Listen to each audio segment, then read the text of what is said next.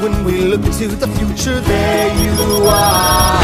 You'll be okay. In time you'll learn just as I did.